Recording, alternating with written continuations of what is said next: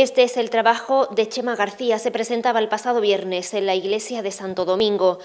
Dentro del otoño literario, entre Sarmientos, se daba a conocer el viernes en este marco el trabajo de la huerta como metáfora de la misma vida en sus páginas.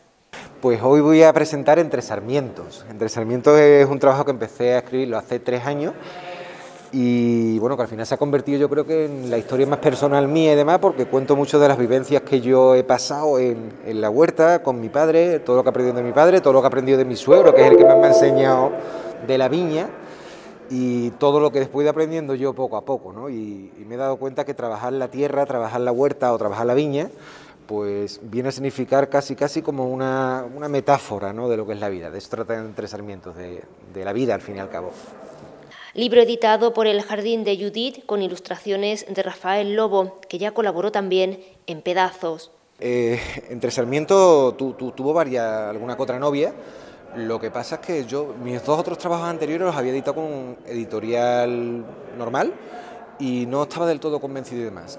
Eh, recordáis que saqué el libro de pedazos, que con la generosidad de Jardín de Judith, pues me facilitaron mucho las cosas, hicieron una edición muy cuidada y muy bonita, y esta vez pues me atreví otra vez con ellos, he quedado muy satisfecho con ellos y, bueno, me, he decidido, es una, es una autoedición, esta vez he apostado yo al 100% por este proyecto y es un proyecto del que estoy muy contento, muy orgulloso y, que yo estoy convencido que le va a a la gente. Aposté por ellos por el trabajo que me hicieron con pedazos, que muchos de los que estaréis viendo esto, pues lo habéis leído, habéis visto que ha quedado muy bien con las fotos, las imágenes de, de mis compañeros ilustradores que me ayudaron en aquel libro y en este nuevo libro pues apostado otra vez por la misma editorial porque quedé muy satisfecho con ellos. Este tiene realmente la ilustración que aparece en este nuevo es eh, la portada y me la ha hecho otra vez Rafael Lobo Blanco, que es el mismo, él colaboró con algunas ilustraciones en pedazos, pero aún así fue el autor de las dos portadas de, mis otros dos libros, ¿no? de Tierra de Cobre Sangre y El Cementerio de las Tumbas Vacías. Los dos dibujos eran de él y este pues también es de él. O sea, y tiene la habilidad, como digo siempre, de en un dibujo plasmar mi historia sin realmente haberse leído la historia, así que tiene que tener una varita mágica o algo porque lo hace muy bien. Presentación de este trabajo que comenzó hace tres años y ahora toca descansar, tomar aire y reflexionar.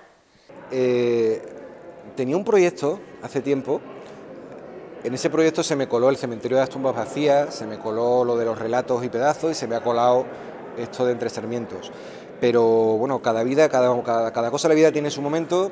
Eh, yo ahora mismo estoy en un periodo personal que, lo que casi quiero es paralizar un poquito todo, sentarme, respirar y, vivir el día a día. Así que a medio plazo no tengo todavía nada en mente, retomaré por supuesto aquella, aquel trabajo que tenía pendiente, pero necesito parar, reflexionar y respirar. Necesito que, acabar algunas etapas que tengo ahí todavía, cerrar etapas mucho público en la iglesia de Santo Domingo para arroparle en esta presentación.